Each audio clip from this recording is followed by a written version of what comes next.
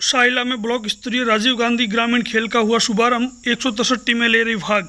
साइला कस्बे के राजकीय उच्च माध्यमिक विद्यालय खेल मैदान में सोमवार को ब्लॉक स्तरीय राजीव गांधी ग्रामीण ओलंपिक खेल प्रतियोगिताओं का पूर्व विधायक रामलाल मेघवाल सहित अतिथियों ने झंडा फहराकर विधिवत उद्घाटन किया। उद्घाटन मैच कबड्डी का देता व सुराना के बीच खेला गया, जिसमें सुराना विजेरा व बालिका वर्ग ओटवाला व डाबली के बीच खेला गया, जिसमें डाबली विजेरा प्रतियोगिता में एक टीमों के सत्रह खिलाड़ी भाग ले रहे हैं। कार्यक्रम में पूर्व विधायक रामलाल मेघवाल, एसडीएम सूरज भान विश्नोई तहसीलदार कौशल्या जहांगीर जिला परिषद के रामाराम चौधरी, अजीत सिंह देता, सुल्तान खान, गोपाल देवासी, बीडीओ मनमोहन मीणा, शिक्षा विभाग के रेवाशंकर गर्ग, भामाशाह दुर्ग सिंह तोरा व आरपी लुम्बाराम आदि ने माँ शारदे के समक्ष दीप प्रज्वलित कर कार्यक्रम का शुभारंभ किया। इस मौके पर अतिथियों ने अलग अलग जगहों से आई टीमों के द्वारा दी गई परेड की सलामी ली। कार्यक्रम को संबोधित करते हुए पूर्व विधायक रामलाल मेघवाल ने खेलों को खेल की भावना से खेलने के लिए खिलाड़ियों को प्रेरित करते हुए कहा कि खेलों में रोज़गार के स्वर्णिम अवसर हैं।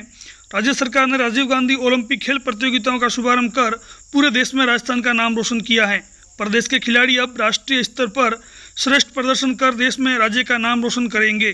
खेल प्रतियोगिताओं में kho kho kabaddi, tennis, table tennis, volleyball, hockey, cricket, shooting ball आदि खेल खिलाए जाएँगे।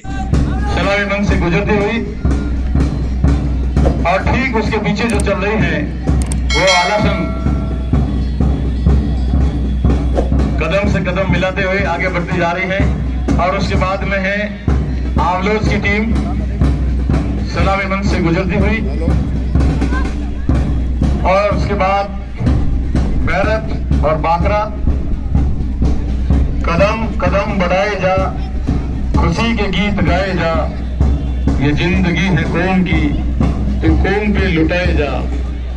तू शेर हिंद आगे बढ़, मरने से तू कभी न डर। उड़ा के दुश्मनों के सिर जो से वतन बढ़ाए जा। और ये ज़िंदगी है कौन की। कौन पे लुटाए जा। तेरी हिम्मत बढ़ती रहे, खुदा तेरी सुनता रहे। जो सामने तेरे चढ़े तो खाक में मिलाए जा। और ये ज़िंदगी है कौन की तू कौन पे लुटाए जा।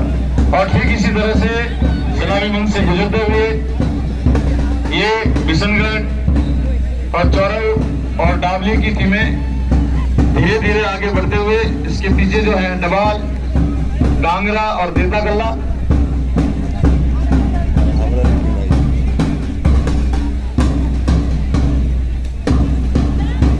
बाद में है एलाना। तत्पश्चात जीवाना जालमपुरा। बैंड की धुन पर धीरे धीरे कदम बोसी करते हुए हमारे ये खिलाड़ी मंच से आगे गुजरते हुए